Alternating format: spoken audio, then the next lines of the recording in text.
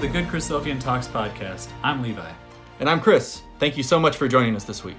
On this podcast, we select one talk a week to help each one of us get the Bible in our daily news feed. We post at the start of each week for you to listen with a short intro beforehand to kind of set the stage for the talk you're about to hear. And now, let's hear more about this week's talk.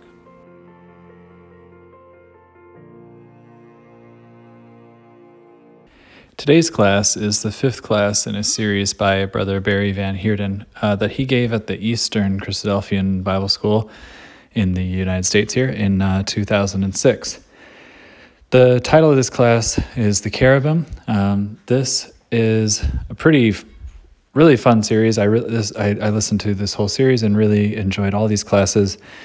Uh, we'll definitely post this eventually, as we do, as it takes us some time to do on um, on the extended podcast as well to get the whole series on there. Uh, because Brother Barry does a really uh, good job of studying just all the different kind of parts of how God works with us, all the ministering spirits. That's the overall title of the series, including uh, the angels um, and the cherubim. Uh, this study is class five. He does the cherubim and the seraphim, examines a lot of passages, uh, going through a bunch of verses uh, to kind of learn more about um, how the uh, the cherubim work. Um, so I really enjoyed this class, and I'm excited to share it. Um, also, uh, posted this just thinking about uh, Brother Barry, who I met um, ten years ago. His wife, Sister Windeth, passed away uh, very recently. so our prayers are with Barry and the whole Van Heerden uh, family and all the many brothers and sisters that they have touched through the years. So our thoughts and prayers are with uh, with the Van Heerdens. We um, thank uh, all the people that send us suggestions. Uh, would love uh, we love it when we get those. Please continue to send us any classes uh, that you hear for us to take a look. And we almost all those get put on the podcast. Basically, I was telling that to someone the other day. If we get a suggestion, it's pretty much likely going to be on the show. So please, uh, please send in your suggestions. And here is uh, Barry Van Heerden on the cherubim. Good morning, my dear brothers and sisters in the Lord. Am I imagining things or are we getting fewer in number?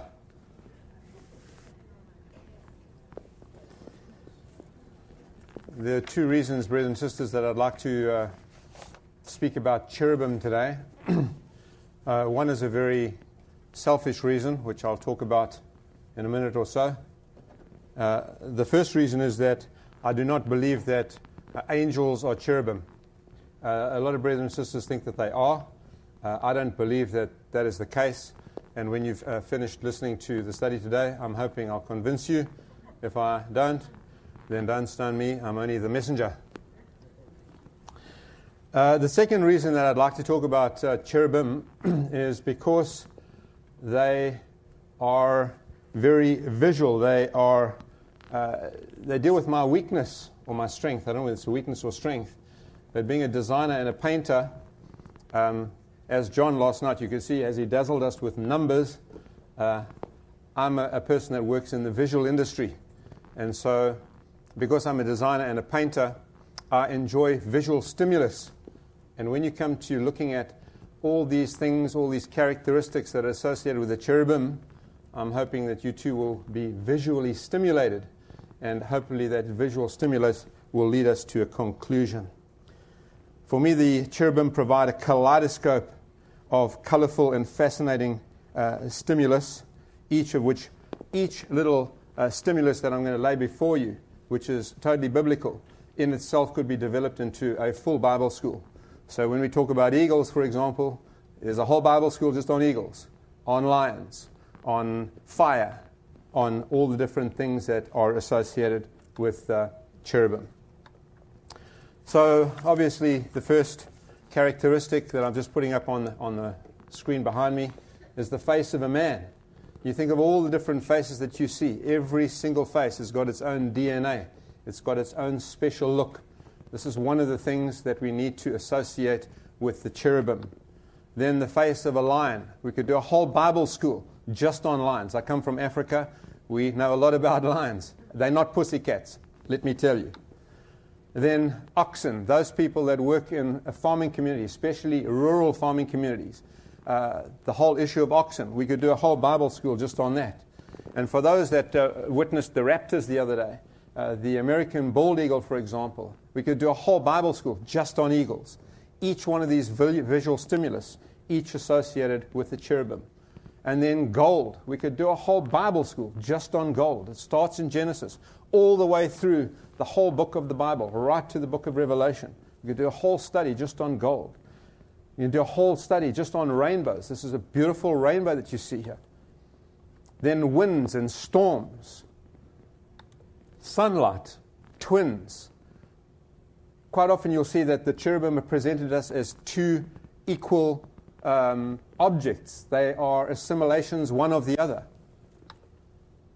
Then wings and flight, fire, wheels, colors, all these things. And as I just put these up in front of you now, these are just different ideas. This is not a complete list at all, but th- these are the ideas and, uh, and uh, concepts that are associated with uh, cherubim as we, as we start our study today. So, cherubim, I believe, are not, not angels because uh, cherubim, for example, look like living creatures. Angels look like men. Cherubim have four faces, and in one case in Ezekiel, have two faces. Angels have one. Cherubim have wings. Angels don't. Cherubim are associated with wheels and chariots. Angels seldom do. Um, cherubim are associated with magnificent visions. Angels seldom are. Cherubim are associated with specific places of worship. Angels seldom are. They are sometimes, but not always. Cherubim are usually presented as identical pairs. Angels seldom are. So it seems to me that whilst angels are all ministering spirits sent forth unto those who are to be heirs of salvation, the cherubim for us are visual aids. They are visual aids telling us of God's glory, of the saints in glory. These are pictures of the saints in glory. So when you watch an eagle drift softly over the landscape, think of yourself. Think of brethren and sisters in the kingdom. When you look at the majesty of a lion, when you watch a flaming fire, all these visual stimuli are telling us about attributes, about characteristics that belong to the saints in glory. For the most part, in the Old Testament, with the exception of Genesis chapter 3, and I don't know whether I'm going to have time to do an exposition on, on Genesis chapter 3, which is a unique kind of situation. Ezekiel and one or two other remote uh, references. Most of the presentations of cherubim in uh, the Old Testament are presented to us as inanimate forms. They are associated with the, the, the, the tabernacle. And I'm going to bring you to uh, the reading in the tabernacle now, um, Exodus chapter 25, as we begin our study together. Um, and as we focus on the cherubim in the tabernacle, and, and that's uh, Exodus 25, uh, the Old Testament uh, association with cherubim and cherubim uh, with places of worship, specifically in the tabernacle and in Solomon's temple, were related specifically to places of worship. But as we come to the New Testament, and we're going to develop a Revelation chapter 4 uh, as we come to the end of the study, you'll remember what the Lord Jesus Christ said to the woman at the well. He said, Woman, believe me that the hour comes when you shall neither in this mountain nor in Jerusalem worship the Father.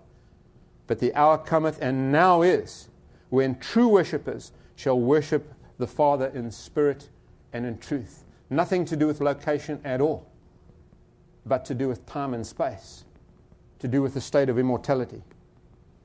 And as we, as we come to looking at this little study today of, of cherubim, and we start just piecing some of these images together, we don't want them to remain on the page because in the end of the day, we don't want to just present a whole lot of facts. Because in the end of the day, if we just present facts, that's all they'll ever be, is just facts. God intends the words, the visions, these visual stimuli to be engraved on our hearts. God wants to be part of our relationship, as we shall see as we begin our study now. So let's just pick up in Exodus 25 and verse 18. Now, i am just leave that slide up for you. And as we're going through our study, you will see that there are different parts because There are parts of, of, of, the, of the Bible that are linear in terms of their presentation. It's a bit like a, um, um, what do you call these things when you pluck them out and look through? Telescope, eh? Kind of that tunnel vision, and, you know, I'm here and the kingdom is over there. But there are parts of the Bible where you find layering. It's almost like you take different shapes of cellophane, colored cellophane, and you layer them one over the other. And that's the reason why I'm going to leave that up. And as we look at these various passages together, you will see that we've got this layered kind of effect because there are some scriptures that will connect to other scriptures. And not one scripture, not one single vision gives you the total vision. We have different visions of the kingdom, different visions, different visual stimuli of the saints in glory.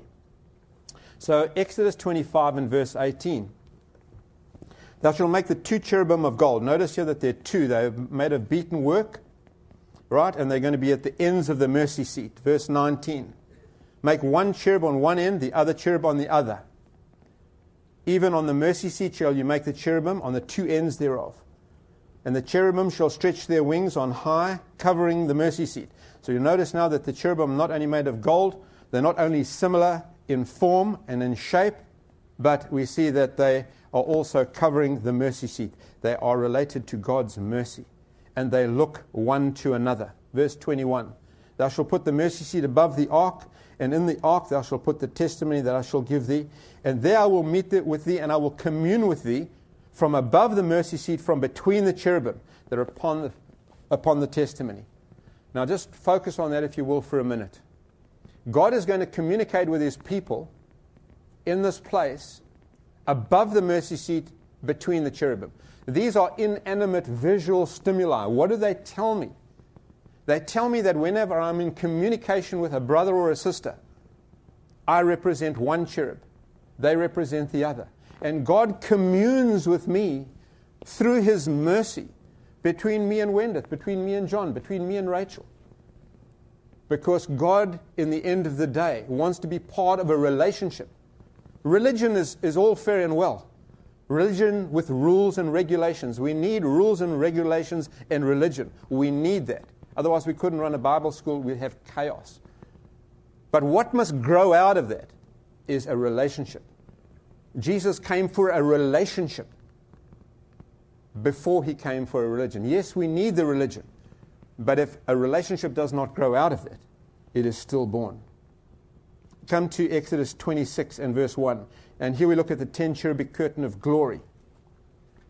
The covering on the top of the tabernacle. It was heavenly. They had to look up this time. And uh, you'll notice that we are associating this now with colors. There are different colors that are associated with the cherubim. Exodus 26 and verse 1. Moreover, thou shalt make the, cherub, the, the tabernacle with ten curtains of fine twined linen of blue and purple and scarlet.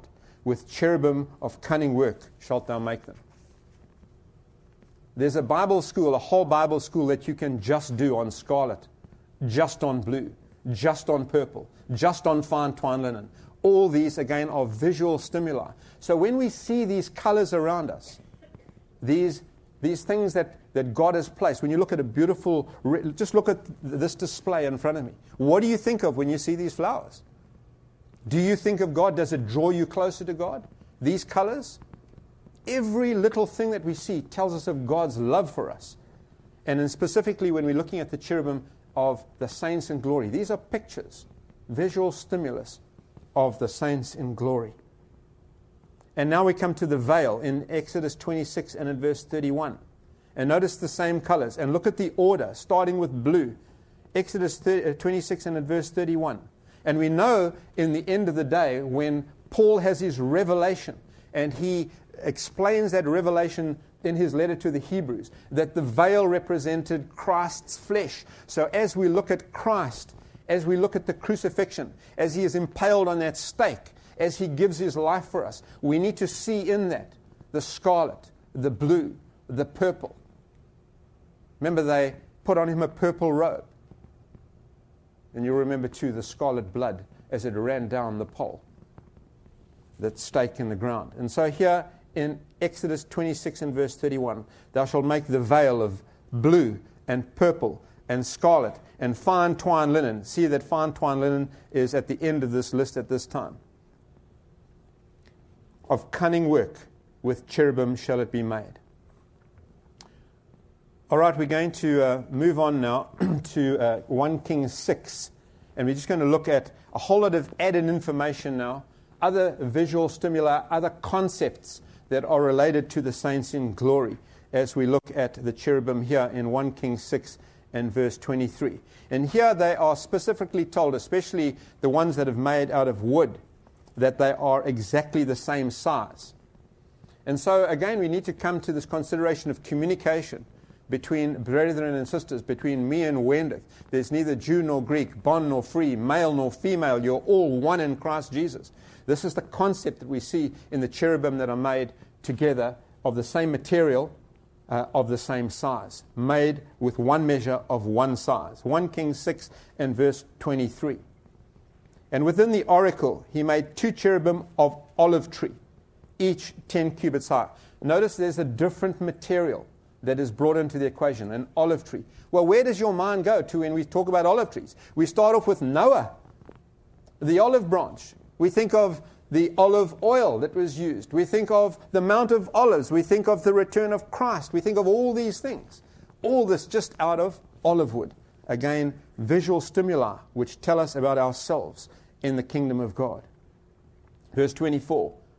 And five cubits was the length of one wing of the cherub, five cubits the other wing, and uh, verse 25. And the other cherub was 10 cubits. Both the cherubim were of one measure and of one size. They were of equal weighting in the presence of God.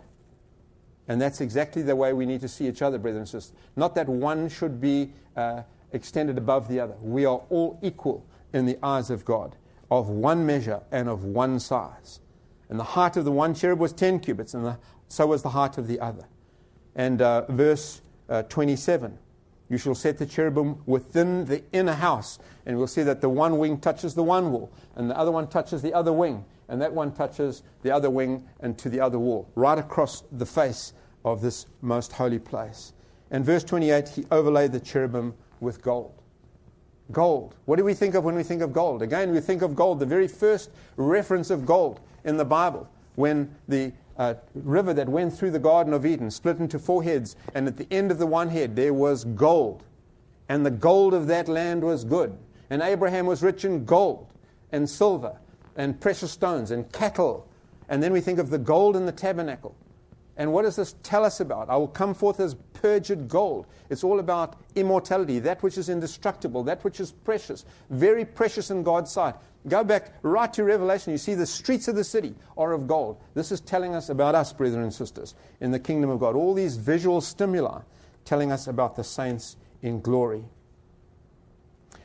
Um, just a couple of references that if you'd like to make notes of them, and I'm just going to read them to you. Psalm 18 and verse 10. Um, and he rode upon the cherub and did fly, yea, he did fly with the wings of the wind. So cherubim are associated with wings and with wind. Listen to the words of Jesus. The wind blows where it listeth. No one knows where it comes from. No one knows where it goes to. So is everyone that is born of the wind, of the Spirit, of the Ruach. Marvelous concepts. Psalm 80, verse 1 Give ear, O shepherds of Israel. Thou that leadest Joseph like a flock, thou that dwellest between the cherubim. So here it's not that God just appears between the cherubim. Here he dwells between the cherubim. That's where we want God to be part of our homes, but to be part of our relationships, dwelling in our lives, being part of our every experience. Psalm 99, verse 1 The Lord reigneth. Let thy people tremble. He sitteth between the cherubim. Here we find another picture. He appears between the cherubim. He dwells between the cherubim. He sits between the cherubim, where he feels comfort. Come to Ezekiel chapter 1 now. Ezekiel chapter 1, the living creatures. And here we'll see the associations of a man, of coals of fire, of lightning, of wheels. And there's a very interesting little word which I'm not going to uh, bring out of the text now. You'll just find this little word, amber. the color of amber in this Ezekiel vision. And that's the Hebrew word chashmal, which is really interesting. It's the word for electricity. And there it is, 600 BC, tucked away in the text. The Hebrews, as they developed uh, the Hebrew language, as the Jews came into the land 1948, and they developed uh, the Hebrew language again, that's the word that they use for, for electricity. Ezekiel 1, verse 5. and out of the midst thereof there came the likeness of four living creatures, and this was their appearance. They all had the likeness of a man. Now you see that they are not inanimate.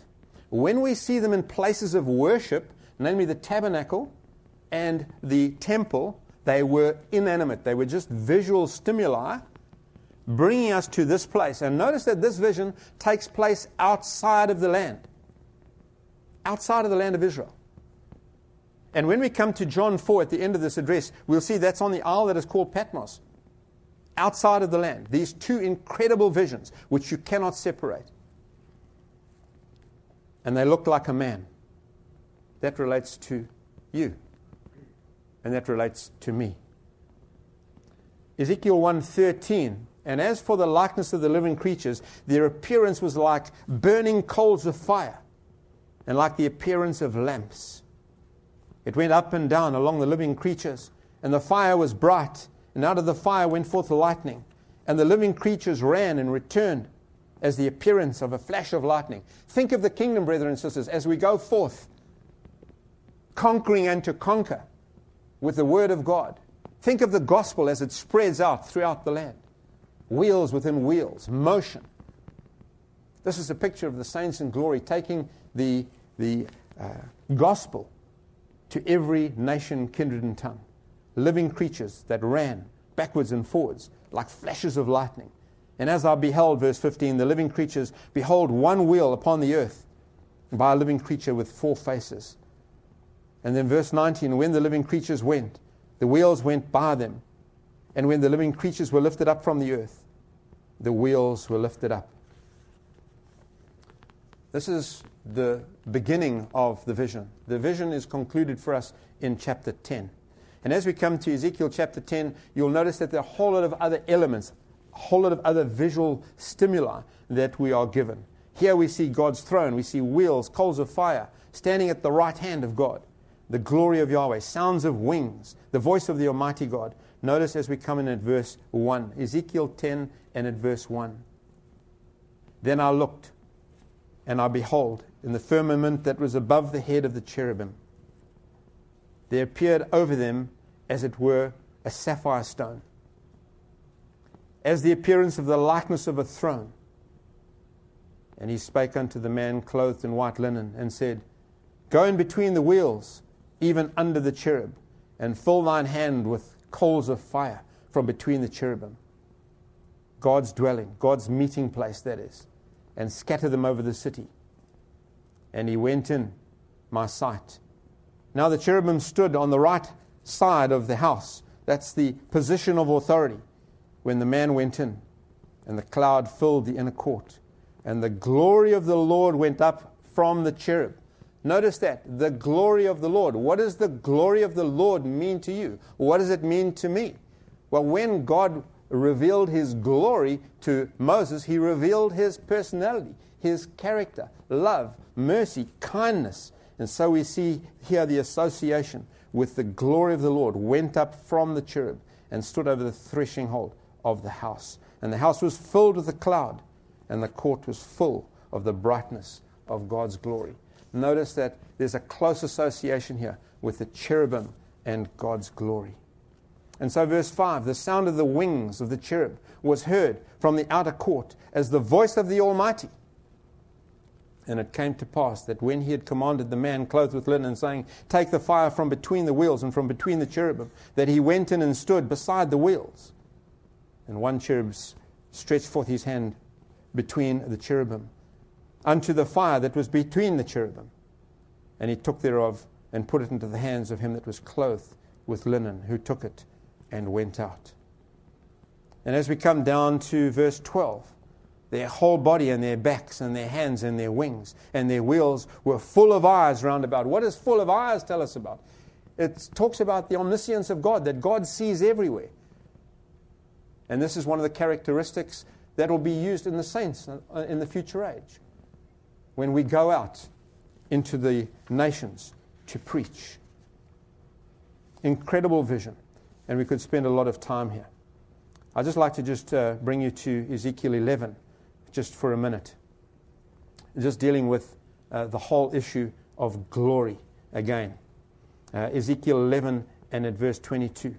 Then did the cherubim lift up their wings, and the wheels besides them, and the glory of Israel was over them. The glory of the God of Israel was over them. Again, the strong connection all the way through the study with the glory of God. We can spend a lot of time on the cherubim. I have a, a, a, little problem, and I'm going to, to share this with you, and I'm hoping that you're going to be able to help me because I know that you're all very bright in this part of the world. And, you know, I'm just an African from Africa, so, hey, you know, you can teach me a lot. I have this problem. Uh, cherubim seem to appear all over the Old Testament, either as inanimate or as animate, in terms of the vision that we've just looked at in Ezekiel, very briefly. But now, when we come to consider Isaiah, all of a sudden we come with one reference in the whole Old Testament to seraphim. What do you make of the seraphim?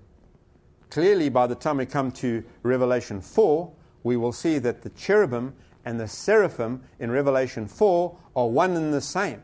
But in the Old Testament, they are presented to us differently. And the question that I'm going to pose to you is why? I'm going to offer you a suggestion, and I'm hoping that you're going to come to me with a whole flood of new ideas.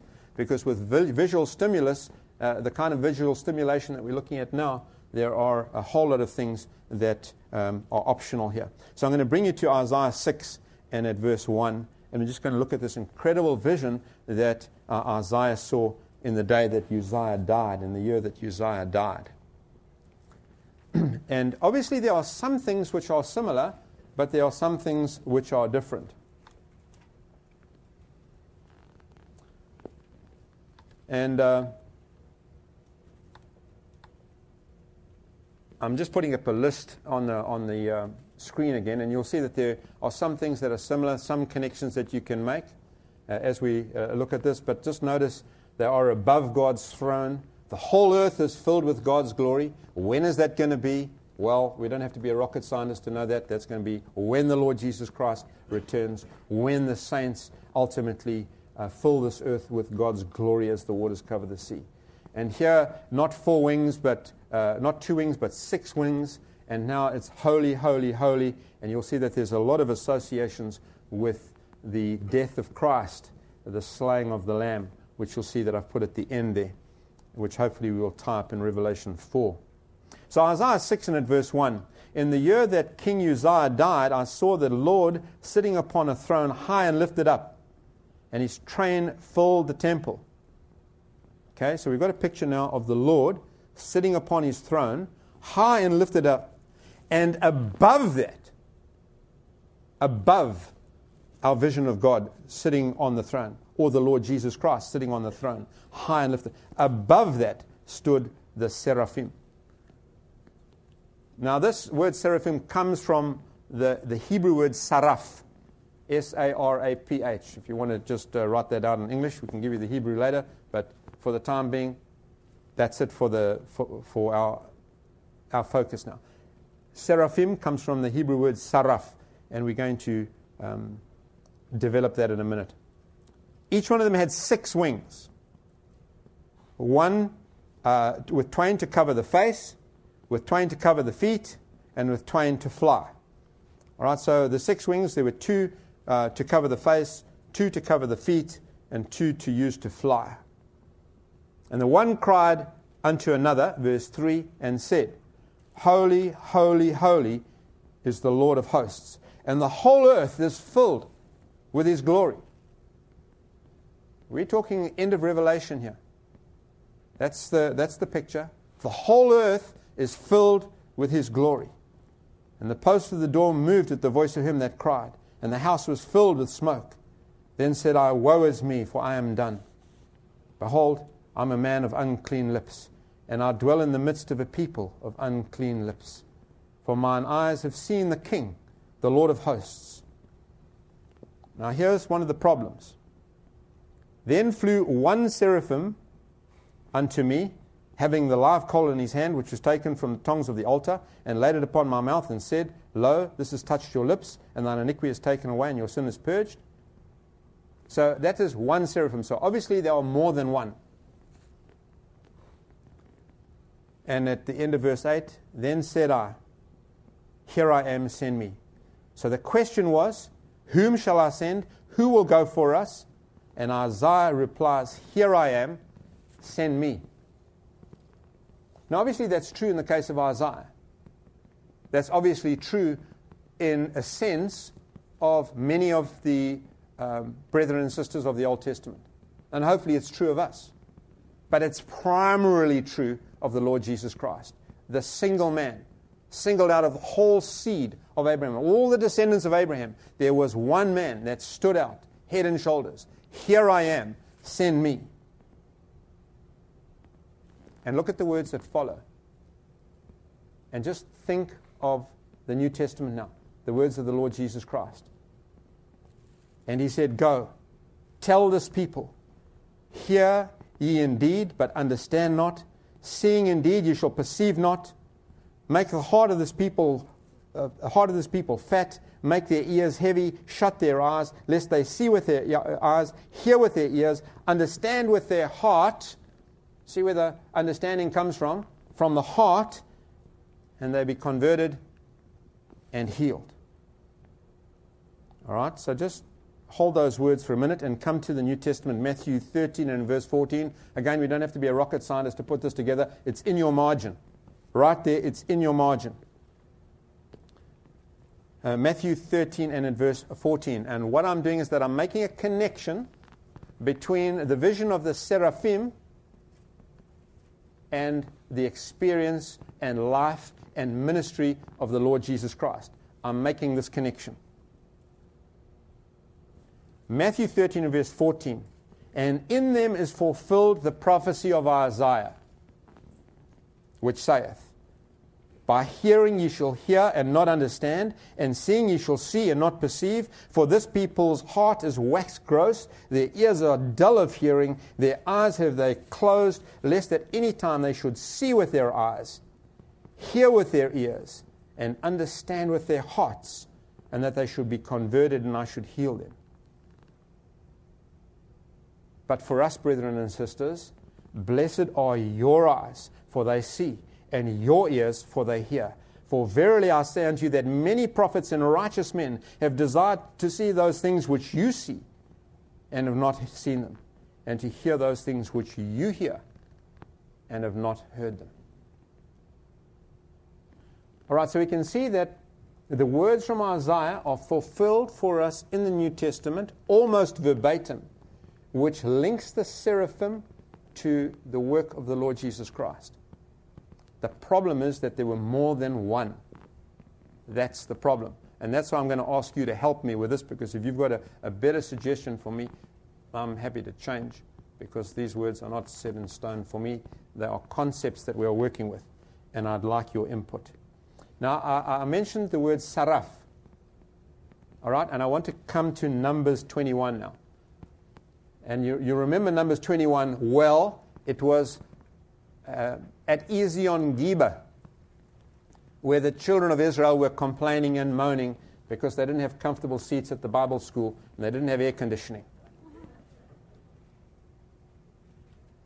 And they're probably complaining about the fact that they weren't getting the right kind of food and things weren't just right. And God responded by sending fiery serpents amongst them. That's how God responded. And verse 6 the Lord God sent fiery serpents, the same word that we've just seen in Isaiah, saraf. He sent fiery serpents amongst the people, and they bit the people, and much people died. And verse 8 the Lord said unto Moses, Make thee a fiery serpent. Same word. Make thee a fiery serpent, and set it up upon a pole, and it shall come to pass that anyone that is bitten, when he looks upon it, he shall live. The same word. from Isaiah. Saraf. This is to do with the seraphim. When you take the Lord Jesus Christ and impale him on a pole, says John, when you do this, as Moses lifted up the saraf, as Moses lifted up the seraphim, as Moses lifted up the serpent on the pole in the wilderness, even so must the Son of Man be lifted up, that whosoever believes in him should not perish, but have everlasting life. So we see there's a connection here, not only to the work and life of the Lord Jesus Christ, which we are called to emanate, but it's also associated with the suffering of the Lord Jesus Christ. High above the throne. So the seraphim, I believe, are in many respects like the cherubim. There are many of them, there are more than one. But they are the ones that have shared in Christ's suffering. I've mentioned this on more than one occasion. It's the Peter, James, and John, those that are called to suffer more than others. Those that are closer to the Lord's suffering. And when you come to the book of Revelation, you will see that is one of the great themes of the book of Revelation. It's the theme of suffering, the souls under the altar. John was on the isle that is called Patmos for the word of God and for the testimony which he held. And the word testimony there is the word marturia, from which we get the word martyr the souls under the altar, those that were beheaded for the witness of Jesus and the testimony which they hold. Time and time again, suffering. So, my suggestion is that the seraphim, for the time being, until you correct me, and I'm happy to be corrected, brothers and sisters, please don't think that this is a one way, one way street, this. Happy to be corrected. But my conclusion at this point in my life is that I see that the seraphim are related to brethren and sisters that share in the martyrdom of Christ, the suffering of Christ. I'm not saying that they necessarily have died for their faith, but those that have given up everything. Twelve thrones, judging the 12 tribes of Israel. And when we come to Revelation 4, 24 thrones, Jew and Gentile put together, linked back to the 24 Levitical orders, as we find back in the Old Testament. Come then to our final vision in Revelation 4. This grand vision. And again, I'd like to just demonstrate to you that there are sequences in the Bible, and that's true and proper. Seven trumpets, seven this, seven that. There are sequences. And sometimes I think that what we do when we come to understanding time, we have tunnel vision. We have the telescope and we look it out and we say, Here I am, and there is the kingdom down there. But that's not the way we see it here. John is standing here, opens the door, and he's in. And then he's out. Transfiguration. Think of the transfiguration. There'll be some of you standing here that shall not taste of death until they see the Son of Man coming in his kingdom. Moses and Elijah talking with him about his exodus, which he's going to accomplish in Jerusalem. And then he's back with Peter, James, and John. That's the way it's presented here. Not a long system of events, not a long chronological uh, um, concept of events here. Here, it's a door open in heaven. You're standing one side, open the door, and he's inside. And this is exactly the way a lot of the prophets present their visions of glory, their visions of the kingdom. Here is the, the, the throne of God, and some of them perceive it this way, some that way, some that way, some that way. And so, Revelation 4 and at verse 1 After this, I looked, and behold, a door was opened in heaven. Just a door. And the first voice which I had heard with me, as of a trumpet talking with me, which said, Come up hither, and I will show thee the things which must be hereafter. And immediately I was in the Spirit, and behold, a throne was set in heaven. And one sat on the throne, and he that sat was to look upon like a jasper Beautiful little lesson there, brethren and sisters. Jasper. Notice where Jasper is now. Number one. You go back to the breastplate, you will see it was the last one. On the breastplate, Jasper was last. Here it's number one. Go to Revelation 21, it's number one. It's the first, because the first shall be lost, and the last first. And that's exactly the principle. The Jasper. And again, we could do a whole series just on Jasper. and the sardine stone. And there was a rainbow around about the throne in the sight like unto an emerald. And so, what do you think of when you see a, a rainbow? It's telling us about a covenant that God made with us. It's a covenant of mercy. It's a covenant of love. It's a covenant to tell us that He will never ever destroy the earth again in the manner that He did in the days of, of Noah. Is that what you see when you see an, a, a, a rainbow? Or do you just look at the rainbow and say, oh, what a beautiful rainbow? Let's look for the little pot of gold, shall we? You know? A rainbow, brethren and sisters, is just such a unique experience. When you look at a rainbow, see God's love. See the covenant in color that He has made. Every color just telling you and shouting at you, I love you, I love you, I love you.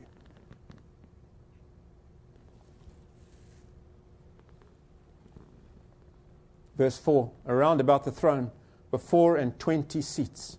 And upon the seats I saw four and twenty elders sitting, clothed with white raiment, and they had on their heads crowns of gold, which later in this vision they are going to submit to the Lord Jesus Christ.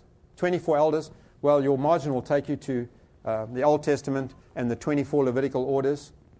But the 24 can be looked at another way 12 and 12. 12 thrones judging the 12 tribes of Israel and probably 12 Gentile thrones. I mean, there are different ways of viewing this. And they have crowns of gold on their head. And out of the throne proceeded lightnings and thunderings and voices. So when you are in the magnificence of a storm, I mean, if you come to Africa, we can show you some real storms. I don't know what you have, whether you have real storms here. Thunderstorms with lightning and thunder. You can ask Wendeth, I'm a complete crazy when it comes to storms. If there's a storm, I like to run outside and, and, and really look at it. It's just wonderful to watch an African storm just blowing across the, uh, you know, those open fields. And to feel the energy of God and to listen to the voice of God when you look at it, the thunders and the lightnings and all these things telling me of His love for me. And so there proceeded lightnings and thunderings and voices. And there were seven lamps of fire burning before the throne, which are the seven spirits of God. And so we come to this incredible combination now of the cherubim and the seraphim together in the vision. Verse 6 And before the throne there was a sea of glass like unto crystal. And in the midst of the throne and round about the throne there were four living creatures, full of eyes before and behind. And the first living creature was like a lion. That's. Uh, something that belongs to the cherubim. The first looked like a lion. The second living creature looked like a calf. The third living creature had the face of a man. And the fourth living creature was like a flying eagle. So when you watched those birds the other day, those that came to that outing, when you watched those birds, did you think of this? Because that was a visual aid of what it's going to be like in the kingdom. All the characteristics of all those things belong to the saints in glory. What an incredible hope. And the four living creatures, verse 8, each of them had six wings. There you can see there's a connection now to the seraphim. And they were full of eyes within. And they, and they rest not day and night, saying, Holy, holy, holy, Lord God Almighty. What a marvelous thing to be saying which was, which is, and is to come. And so time is presented to us in terms of past, present, future. From Him who was, is, and is to come. Revelation 1 doesn't present it to us like that at all. From Him who is, was, and is to come. The continual I am. And John spoke about that last night. Because in suffering, that's what you need. You need the presence of God, the one that's here, that goes through the suffering with you.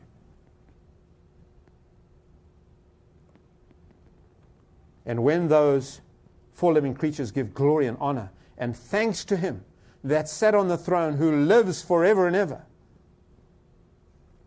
the four and twenty elders fall down before Him that sat on the throne and worship Him that lives forever and ever. And they cast their th- crowns before His throne, saying, Thou art worthy, O Lord, to receive glory and honor and power, for Thou hast created all things, and for Thy pleasure they are and they were created. Marvelous vision, brethren and sisters. And John, you remember, weeps because there was a scroll sealed in the backside with seven seals in the hand of him that sat on the throne. And John weeps because no man in heaven or on earth or under the earth was worthy to open the scroll and to loose the seven seals thereof. But then he hears, I heard. It was the lion of the tribe of Judah. He was the one that prevailed. It's the only time you're going to find a lion in relation to the Lord Jesus Christ in, in Revelation. This is the book of the Lamb. 28 times you'll find in the book of Revelation the Lamb. So he hears, ah, the Lamb of the tribe of Judah. He's got it all worked out. It's all to do with the Old Testament. It's all got to do with the Jews. It's all got to do with Israel and the covenant that God had made with Abraham. But when he looks, it's something completely different. He looks and he sees a lamb as it was slain from the foundation of the world. A vision of what happened in the Garden of Eden. And so we'll close with the words in Revelation 5 and verse 6. And I saw, I beheld, and lo, in the midst of the throne, four living creatures. And in the midst of the elders, right in the center, right in the very middle, stood a lamb, as it had been slain, having seven horns and seven eyes, which are the seven spirits of God sent forth into all the earth.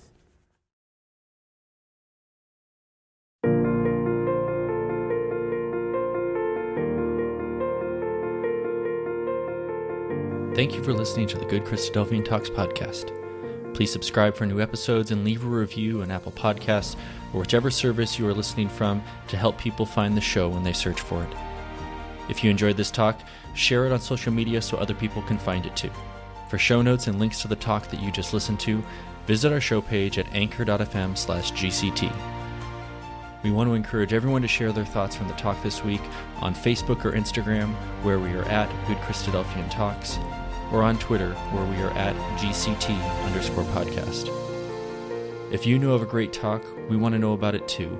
Send a suggestion to goodchristadelphiantalks at gmail.com or message us on any of our social media platforms. Thank you for listening. God bless, and talk to you next week.